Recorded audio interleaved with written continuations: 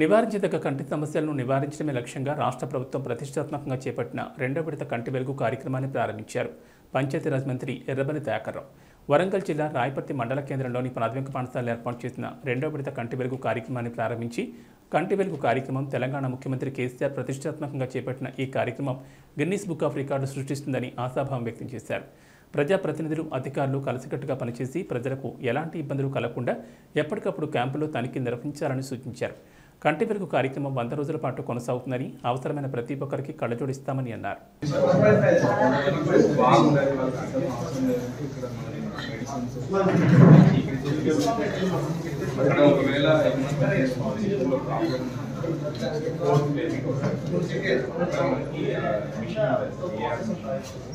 దాని ద్వారా టెస్ట్ చేస్తారు. తర్వాత డిస్టెన్స్ ఆరు మీటర్ డిస్టెన్స్